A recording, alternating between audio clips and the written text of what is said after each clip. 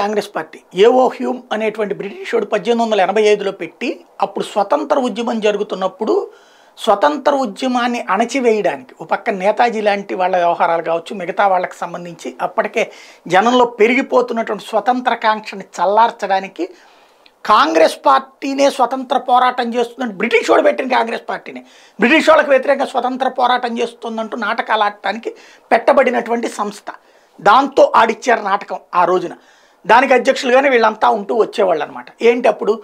మీరు గట్టిగా గొడవ చేయండి అయ్యా. మీరు పది గొడవ చేస్తే నేను ఒకటి ఇస్తా అనేటువంటి కోణంలో డ్రామాలు ఆడించినటువంటి.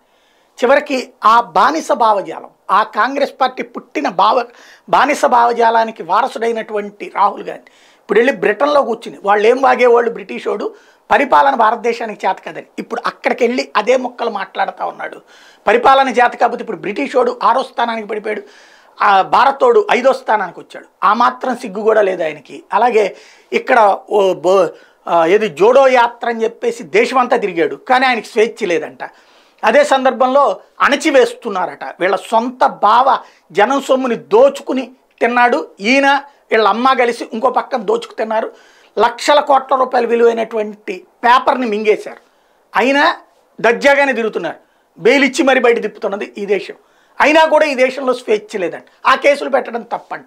ఇట్లాంటి వాళ్ళు మన దేశానికి ప్రధానమంత్రి గారు బ్రిటన్ వెళ్ళి మాట్లాడుతున్నాడు అక్కడ. ఇక్కడ మాట్లాడడంలో తప్పులే. బ్రిటన్ వెళ్ళి మాట్లాడుతున్నాడు.